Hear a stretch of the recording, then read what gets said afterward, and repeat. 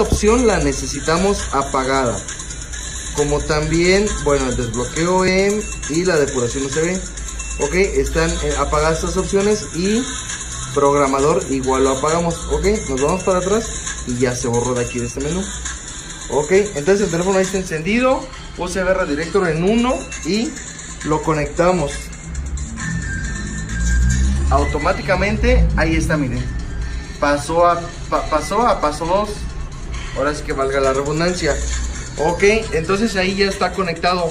Ahora, ¿cómo los voy a identificar? Se van a Google y van a colocar cuál es mi IP. Ahí está. Enter.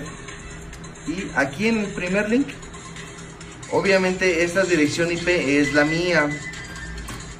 Esta es la que necesitan enviar. Es todo. Cuando el teléfono ya se esté programa, esté trabajando, va a pasar aquí automáticamente a paso 3. Ok, me tienen que enviar la IP ya cuando el teléfono esté conectado. Antes no, ya cuando esté en paso 2.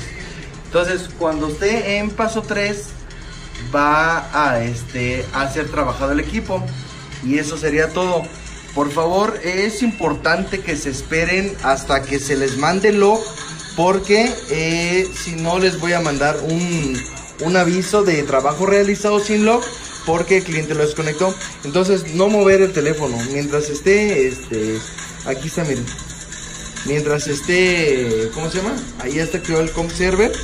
Y mientras esté trabajando el equipo, no moverlo de favor. Y sería todo.